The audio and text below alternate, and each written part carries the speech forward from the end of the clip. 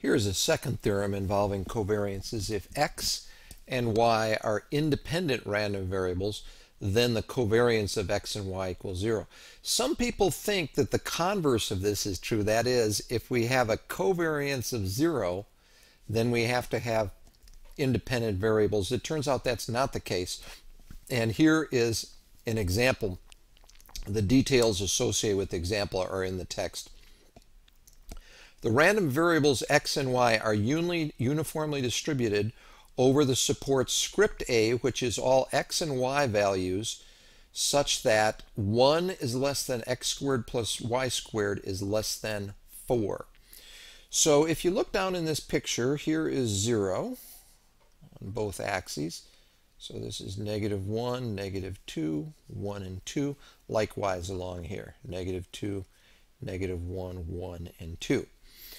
The circle x squared plus y squared equals 4 is a circle of radius 2 at the origin, centered at the origin. So that's this outside circle. And then x squared plus y squared equals 1 is a circle of radius 1 centered at the origin. So it looks like that. So in between those two is this donut shaped region. And so what we'd like to do is figure out what the joint probability density function is over that region. Well, first of all, let's figure out its area.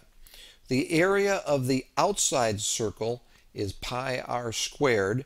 And so in this case, pi r squared will be pi times 2 squared, or 4 pi.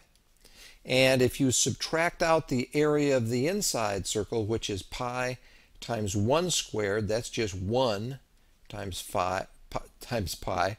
And 4 pi minus 1 pi is 3 pi.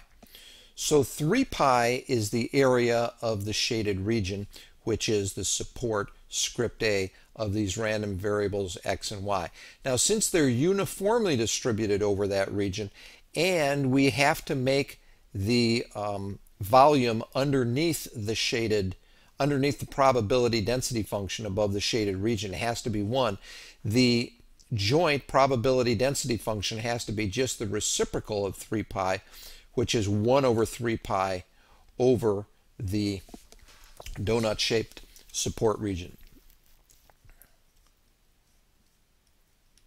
By symmetry, you can look at this distribution and know that the balance point for x has to be 0. Likewise, by symmetry, the expected value of y, if you were to collapse all of this down to the y-axis, is 0. Next, the expected value of x times y. This may not be so obvious, but again, by symmetry, this happens to be 0, which means by the shortcut formula, the covariance of x and y is the expected value of xy, which is 0, minus the expected value of x times the expected value of y, which is 0 times 0. So we get a covariance of 0. So here is a distribution with a covariance of 0, but x and y are not independent. How do you know they're not independent? Well, you look at this support and that is not a product space. That is not a rectangular region. So we know we have dependent random variables.